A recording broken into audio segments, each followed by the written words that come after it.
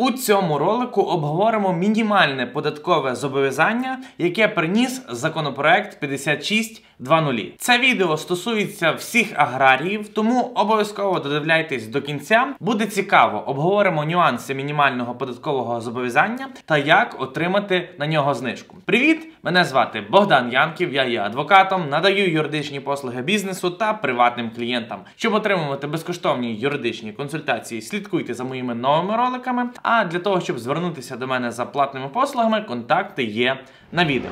Мінімальне податкове зобов'язання це новий податок, який ввели для всіх фермерів, починаючи з 2022 року. Якщо у вашому користуванні в оренді або власності є земельна ділянка, яка призначена для ведення сільського господарства, і вона знаходиться за межами міст, то тоді, починаючи з 2022 року для одноосібників, треба буде платити 4% від нормативної грошової оцінки, а для фермерських господарств потрібно буде платити 2% від нормативної грошової оцінки. У 2023 році теж буде 4% для одноосібників та 2% для фермерських господарств. А починаючи з 2024 року, мінімальне податкове зобов'язання для одноосібників буде становити 5% від нормативної грошової оцінки для фермерських господарств половина, тобто 2,5%. При цьому, якщо земельна ділянка у вас буде перебувати не повний рік у власності, а, наприклад, з'явиться в середині року чи лише на декілька місяців,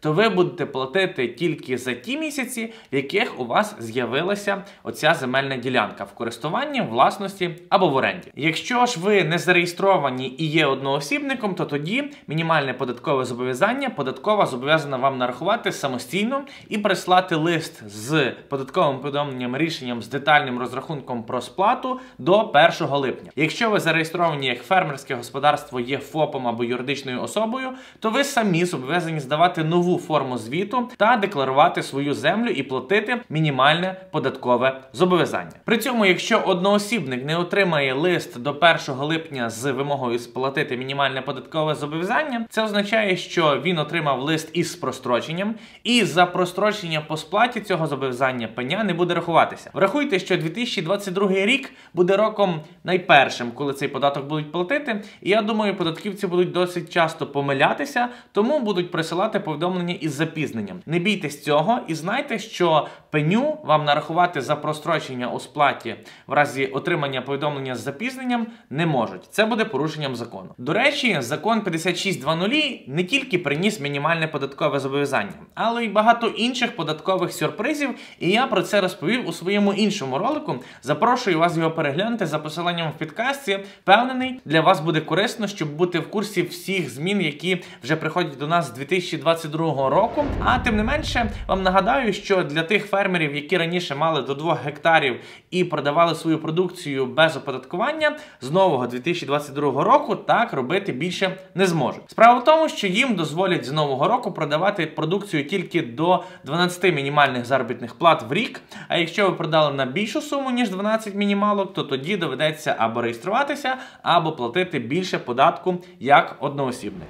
На мінімальне податкове зобов'язання можна буде отримати знижку за рахунок сплати інших податків. Тобто, чим більше заплатили інших податків, тим менше буде мінімальне податкове зобов'язання. Як це працює? Наприклад, представимо собі, що ви зареєстрували ФОПа і платите єдиний податок. Мінімальне податкове зобов'язання з вашої землі, наприклад, виходить під 4% в 2022 році 10 тисяч гривень. Тобто 10 тисяч гривень ви би мали заплатити.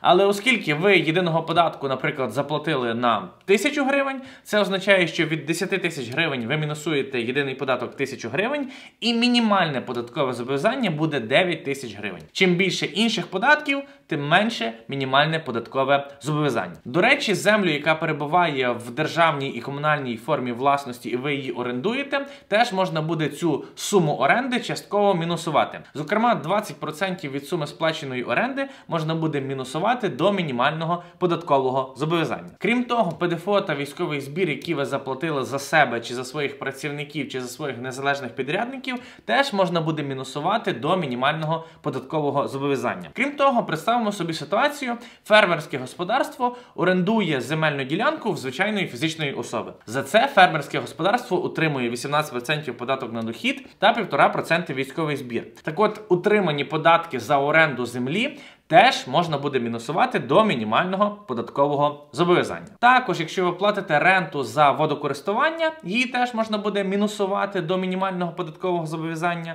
І фермерські господарства, які платять податок на прибуток, суму податку на прибуток, який вони сплатили, зможуть відняти як витрата до мінімального податкового зобов'язання. Сподіваюсь, це відео для вас було корисним та актуальним. Ви змогли зрозуміти, що ж таке нове придумали для нас депутати, ввівши мінімальне податкове 我的工作是什么？